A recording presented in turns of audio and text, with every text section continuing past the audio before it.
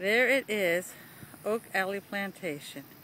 We're up on the levee, and behind us, as I turn the camera around, is there's the road, and there is the mighty mist that goes a tanker barge. And we're going around the circles again. This is uh, Friday, September 23rd, Oh, the other one left. There it is. 2011. Oh yeah, that's, that's probably smart.